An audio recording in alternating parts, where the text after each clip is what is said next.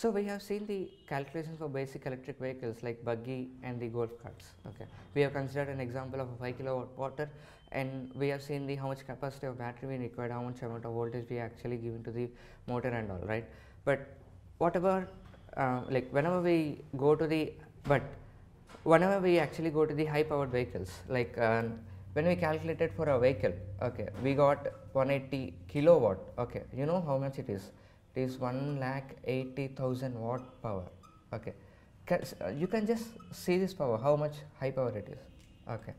So generally when we are talking about the types of motors okay we are having AC motors DC motors right? In our AC also we are having uh, types of motors like um, axial flux motors and three phase induction motors and DC also we are having BLDC motor and uh, we can say PMDC motor etc. Okay.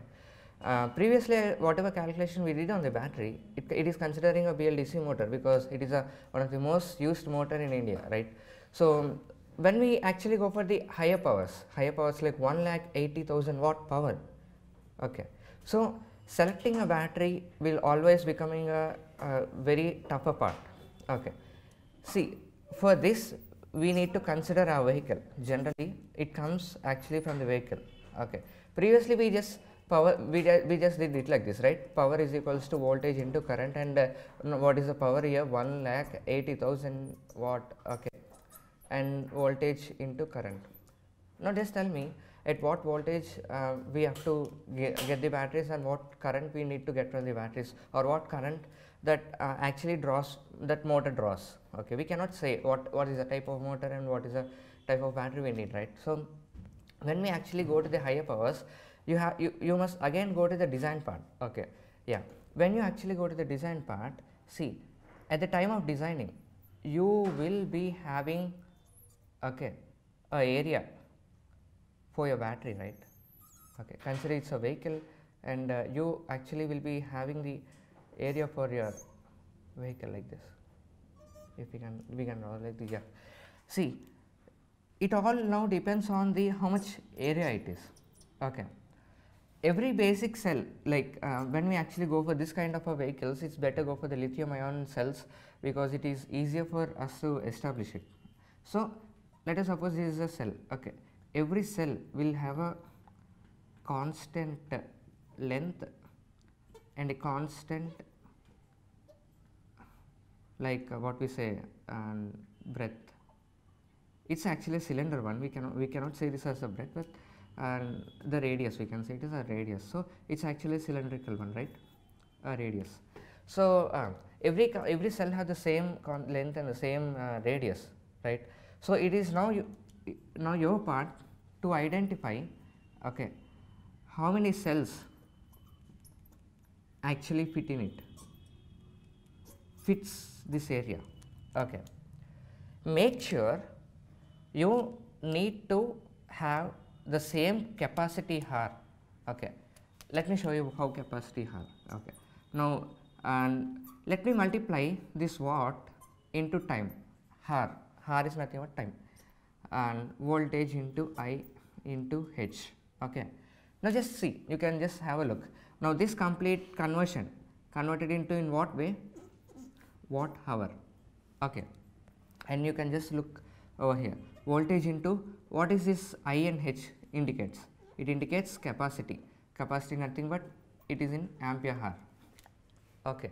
So always remember um, whatever voltage you keep is is not the main thing. Okay you can keep uh, 300 volts or uh, 320 volts uh, or whatever volts you can. Okay.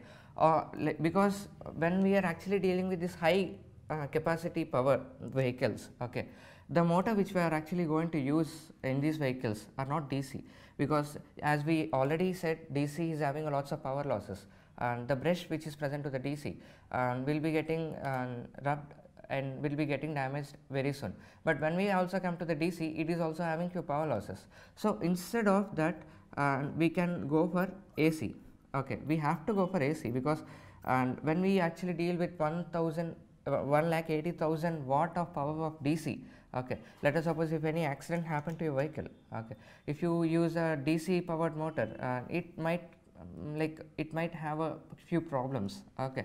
So it's better to always go for AC and the reason why uh, we are not actually using um, DC power in our homes the uh, like is DC having a lots of power losses okay. So uh, that's the reason we are having a AC power um, for for our houses okay. Like 220 volts AC with frequency of 60 hertz or sometimes 50 hertz. Okay. It depends on the area to area. So we, we are going to use a AC motor. Okay. So whe- when considering the voltage you need not consider much about the voltage because if you pass 300 or uh, 360 volts okay what is a thing which is act, acting as a bridge between the motor and the battery is inverter. Okay. Whatever voltage you generally pass whatever matlab you you just need you must not consider 60 volts okay? There there must be a uh, what we say uh, at least a limitations for when you consider the voltage. When you consider 300 to 360 volts okay you have to customize the inv- inverter. Okay because there commercially it, it is not possible to get every time. It's, it's not commercial one. We we have to customize ourselves in order to make make it work. Okay. So we have to customize the inverter and from this 360 to 300 to 360 if you send the starting uh, start sending the dc power to this inverter it continuously converts into some constant ac power. Okay. And that ac power you will be providing to this ac motor. Okay. So voltage is not an issue always so when we actually consider um, um, this formula okay. Let me consider tesla motor. Uh, tesla motors is having a 400 watt hour of uh, like uh, what we say motor okay. So tesla is having 400 kilowatt of motor and um, if you consider voltage into yeah this is a capacity. Now 400 watt hour it is also um, having a voltage of 420 volts of cells into capacity something like this okay. So by this he is actually um, driving his vehicle with this much of capacity okay. So this is how it works. When you actually go for the um, higher vehicles okay you need to consider um, a design again okay. You need to understand the design again how many layers you can actually keep the batteries and how many batteries you can actually fit in it. Depending upon the how many batteries you can actually fit in it you can have a series and parallel connections. And another thing you, you also need to consider is a weight part okay? Because the more the weight the more the uh, load is getting on the motor right? So you, you need to get the design part when you really wanted to make the high power dc or, or high power electric vehicles okay? Um, that's it